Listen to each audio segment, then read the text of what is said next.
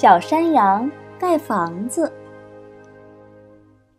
小山羊是动物王国的邮递员，每天徒步奔走到各个村庄之间，需要为很多的动物家庭传递书信。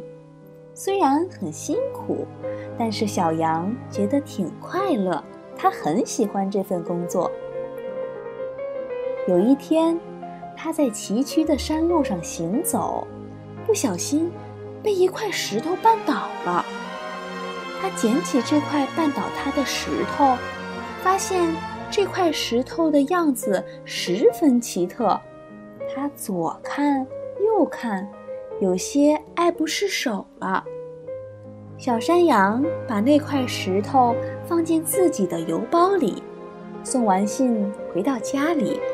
他拿起这块石头，看了又看，突然产生一个念头：如果用这些美丽的石头建造一座城堡，那将是多么漂亮啊！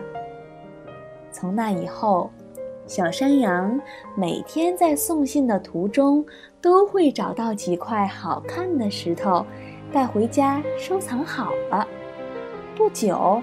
他便收集了一大堆。小山羊的举动让大家感到诧异。动物们看见他邮包里塞了一块石头，都嘲笑：“你在包里塞块破石头，多重啊！每天来往送邮件已经很重很累了，为什么还要在邮包里塞入沉甸甸的石头呢？”小山羊却不理会这些，照样收集石头。谁也不知道，他的心里装着一个城堡梦。此后，小山羊再也没有过上一天清闲的日子。白天，它穿梭在各个村落送信，挑拣各种各样漂亮石头。晚上。他就在房前用收集的石头盖房子。他按照自己天马行空的想象来构造自己的城堡。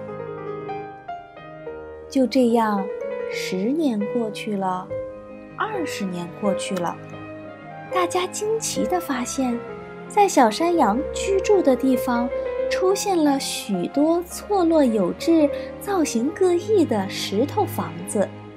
附近的人都知道，有这样一个天真、偏执、坚持梦想的邮差，在这几十年来一直在建造着属于自己的城堡，从不曾间断过。小山羊的石头城堡越来越有名气了，越来越多的动物前来观赏房屋，这里成了一处著名的景点。而捡石头盖房子的小山羊，现在已经成了一名著名的房屋设计师。